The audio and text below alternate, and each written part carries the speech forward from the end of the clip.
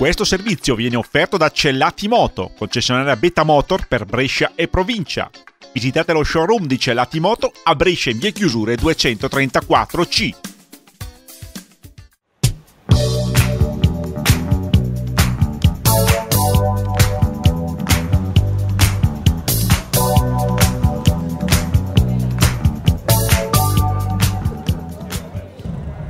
La cittadina piemontese di Varallo Sesia, nota per il Sacro Monte, luogo di culto diventato patrimonio dell'UNESCO, ha ospitato nella serata di sabato 31 luglio la quarta prova del campionato italiano Trial Indoor, proposta dal Motoclub Valsesia, che è tornato in questi ultimi anni ad organizzare gare a livello nazionale.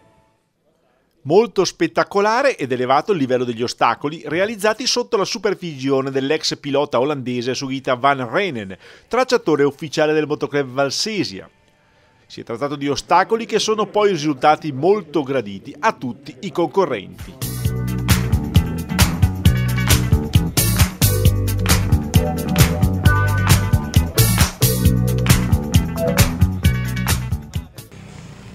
10 concorrenti a via in questa fase eliminatoria dove passeranno alla finale poi solamente i migliori tre. Ma vediamo com'è andato. Ovviamente per tutti i protagonisti di questo appuntamento in Valsesia.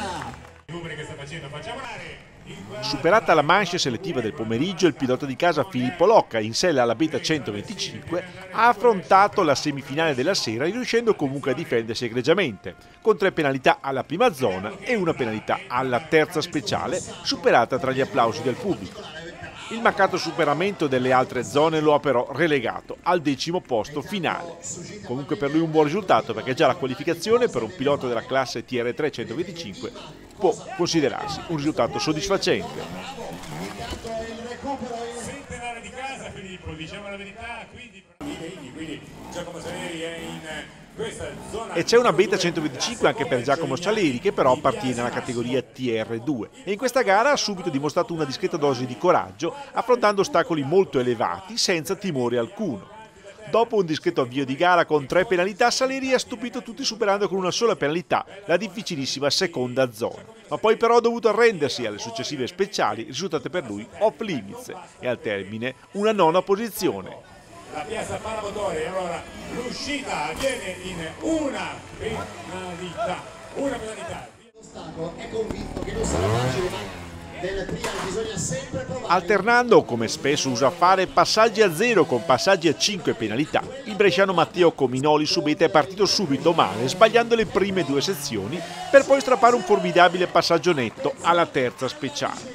Nulla di fatto poi alla quarta sezione, superato solo da tre concorrenti, e poi chiusura in crescendo con un altro splendido passaggio netto alla quinta ed ultima speciale. La sconfitta subita però al parallelo non ha modificato la sua ottava posizione. Attenzione perché questo, questa discesa con appoggio lo porterà a termine, zero penalità, bravo, bravo, bravo! Intanto...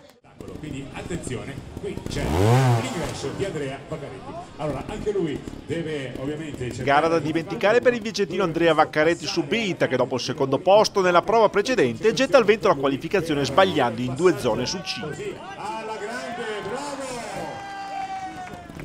Veramente non c'erano altre soluzioni, bisognava portare... Partito bene con un passaggio netto alla prima spettacolare sezione, Vaccaretti sbaglia la seconda zona perdendo così concentrazione. Infatti poi posa un piede del tutto evitabile alla terza zona e sbaglia ulteriormente alla quarta, scivolando così nella parte bassa della classifica. Un ulteriore piede posato alla quinta zona lo relega definitivamente al settimo posto. Passaggio dopo il buon inizio di questa serata è anche felice nel percorrere questo tratto, è un tratto Migliore tra i giovani che hanno superato le selezioni del pomeriggio, Luca Cotone in sella alla Gas Gas ha dimostrato anche in questa occasione di essere pronto al passaggio tra i professionisti. Infatti il pilota di Domodossola si è dimostrato sicuro e determinato, superando bene le prime tre speciali con una progressione di punteggi seconda solamente al vincitore Lenzi. Caricato quindi da questo avvio di gara superlativo, Cotone supera poi con tre piedi di aiuto anche la difficilissima quarta speciale. L'errore però alla quinta sezione non certo impossibile e la sconfitta al parallelo contro Rizio lo relegano al sesto posto finale, ma con tanto margine di miglioramento.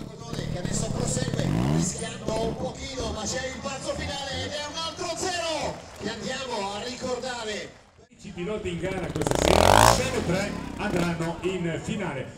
Un solo grave errore ha compromesso la gara di Francesco Iolita in Serie La Beta, il quale ha superato con una penalità le prime due speciali e poi è volato sulla terza, quella di Traversini non certo facile, aprendosi uno spiraglio per l'accesso alla finale. Purtroppo per Francesco Iolita l'insidiosa quarta speciale si rivela insuperabile, facendo così scattare il primo ed unico 5. L'ottimo passaggio spuntato poi alla spettacolare quinta zona lo riporta in gara per la finale, ma la sconfitta subita al parallelo ad opera di Grattarola lo relega al quinto posto senza possibilità di continuare la gara. Vuole per Francesco Iolita, zero penalità per lui, bravo! Ma sì, è andata abbastanza bene, a parte un errore subito alla prima zona molto molto banale, poi il 5 alla quarta zona che ci poteva stare e purtroppo come va sempre a finire queste gare qua il parallelo è stato discriminante, però a volte ci sta di vincere, a volte di perdere. Comunque sono contento della mia prestazione.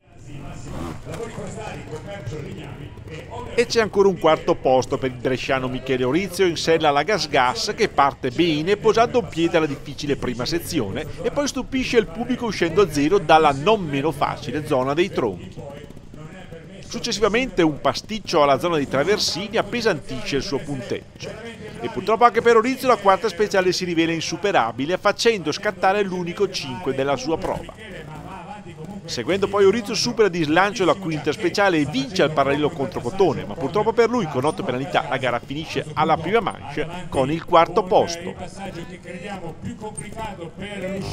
La risolve alla grande con zero penalità, mi dice il giudice? Sì, zero penalità. E allora benissimo. 3, 2, 1, via, partiti!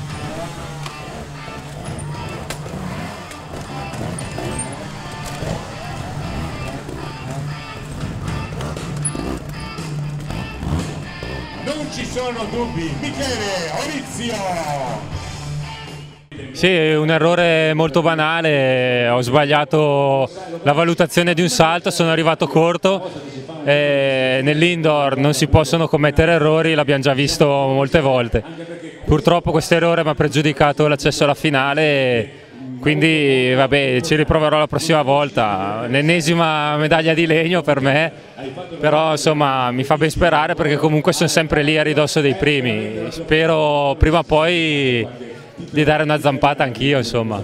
La Cascassa, vice campione italiano per quanto riguarda Sempre più in forma il torinese Daniele Maurino su Gas Gas ha già dimenticato il brutto volo della gara precedente, quella di Castellanza, riproponendosi qui a Varallo di lottare fino alla fine per il successo. Aiutandosi con qualche piede di appoggio per evitare guai peggiori, Maurino si ritrova alla fatidica quarta zona con tre penalità e pagandone altre due esce positivamente dalle grosse pietre di fiume, molto insidiose, prenotando così un posto in finale. Lo zero d'obbligo per i big alla quinta zona, quella dei gradoni, vale anche per Maurino. E nonostante la sconfitta al parallelo subita ad opera del solito Lenzi, Daniele Marino guadagna ugualmente il terzo posto utile per passare in finale.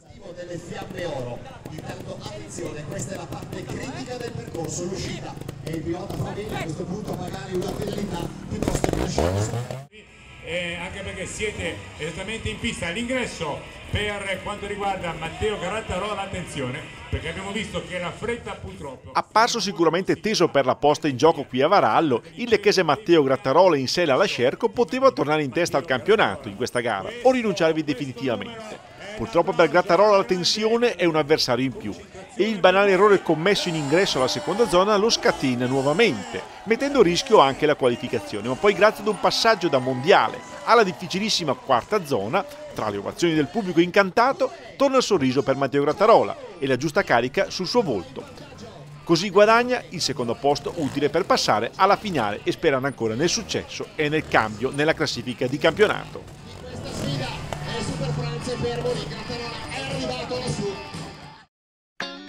Questo servizio è stato offerto da Cellati Moto, concessionaria Beta Motor per Brescia e provincia.